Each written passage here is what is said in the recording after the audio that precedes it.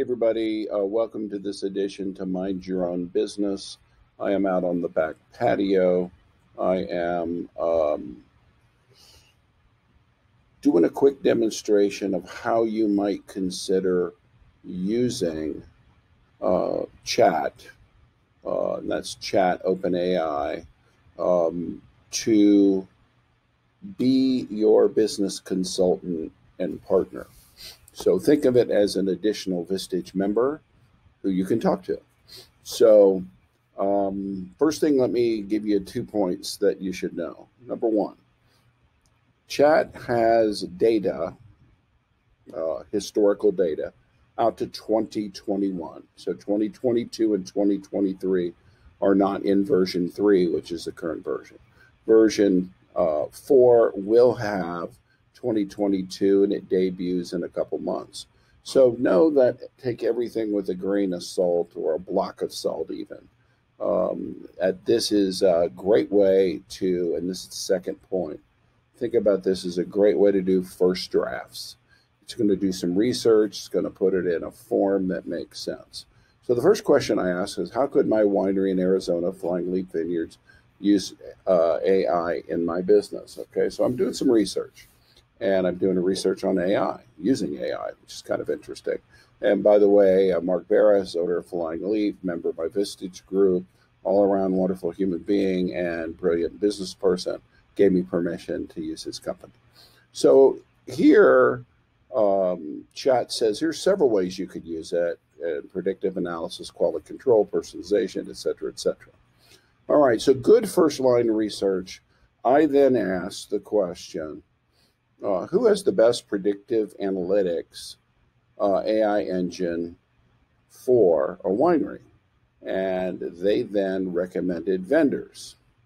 I did a similar thing here saying, how can I use AI in my winery for quality control? Since it recommended quality control. And here, image recognition, chemical analysis, predictive analysis, etc. Then I said, what vendors?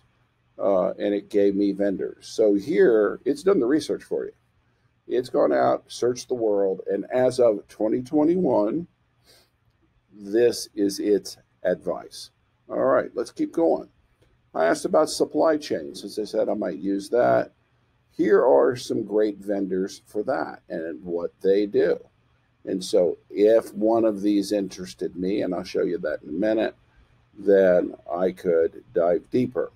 Finally, sentiment analysis, which is a social media function, which is one of my backgrounds. I thought I'd dive deeper into that. Sentiment analysis, um, they talk about it. They gave multiple brands. I picked Brandwatch and asked, how does Brandwatch work?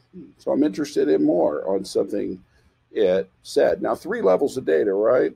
How can I use it? Deeper on each recommendation, and now deep into one brand. So they data, they filter, and they essentially tell you sentiment analysis, how people are feeling, how positive or negative are perceptions of your brand and parts of your brand.